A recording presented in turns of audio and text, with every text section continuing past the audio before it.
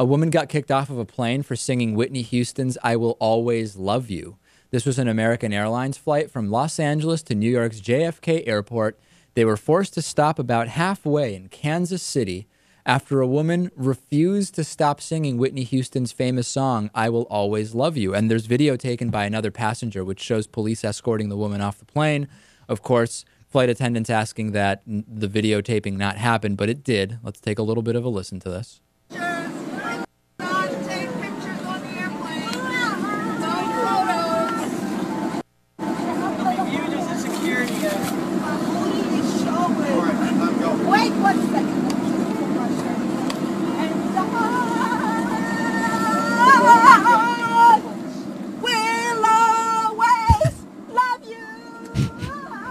No photos are allowed to be taken on the aircraft. All right, so total chaos on an American Airlines flight there. Why she chose that question, I don't know. She was allegedly screaming and singing for an hour, according to KMBC.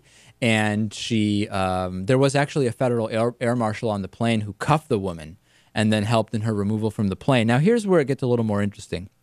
Reportedly, the woman said she's a diabetic, and some are suggesting her behavior was a result of her condition, presumably low blood sugar. And after the interview that took place when she was removed from the plane, she was released without charges, but American Airlines did not want to fly her to her final destination.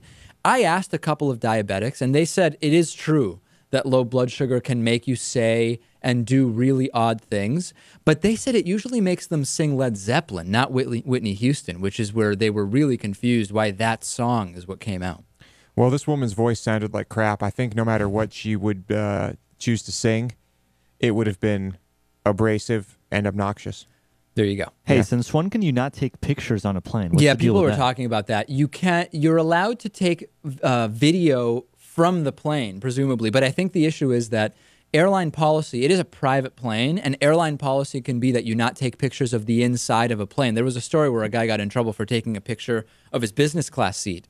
And flight attendants said, "Whoa, whoa, whoa! You can't do that." I know a lot of people are reacting to that from Right. the video, but apparently that's not. And people do it all the time, and it's not really enforced. But I think when they're when pictures are being taken of fellow passengers, clearly that's the goal of the pictures. That's where the airlines have a problem with it. And then there, but there are some of those videos of um, the flight attendants uh, doing interesting things or funny things when Right. it comes to the announcements they have to make. Yeah. That sometimes people film.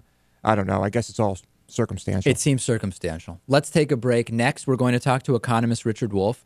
Get ready for this. He is going to debunk every nonsense myth around the deficit, uh, and hopefully he can do it in 10 minutes because that's the time we have for him to do it. But I, I predict it will be plenty of time. Stay with us. Excellent, excellent interview coming up next.